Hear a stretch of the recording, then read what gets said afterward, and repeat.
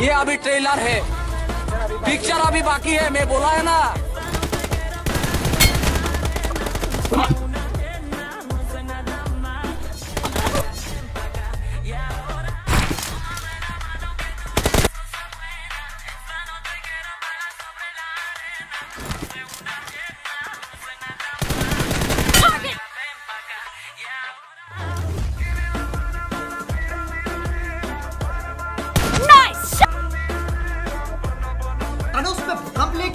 भूचाल मुझे नहीं पता बस क्लिक हो जाना चाहिए।